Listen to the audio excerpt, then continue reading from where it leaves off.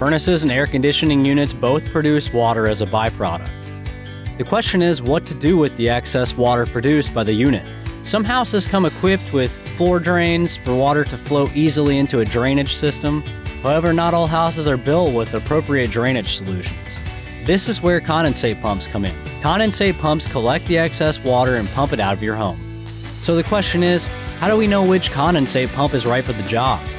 Several important factors need to be taken into consideration like max lift, gallons per minute, and capacity of your condensate collection tank. Let's start with max lift. Max lift is how high your condensate pump can move the water upwards. If you're in a basement with a 16 foot ceiling trying to get discharge to ground level, you will need a pump with a minimum of 16 foot lift, but it's recommended to have 3 feet more than what you really need for horizontal trapping. Gallons per minute refers to how much condensate your unit can pump per minute. More humidity equals more condensate. In very humid environments, you'll need a larger tank to preserve the life of the pump. We hope this helps you find the right condensate pump for you. Check out all our condensate pump options at jacksonsystems.com. Thanks for watching. We'll see you next time.